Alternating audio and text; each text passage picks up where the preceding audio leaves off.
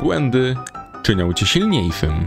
Mojang po dodaniu systemu reportowania.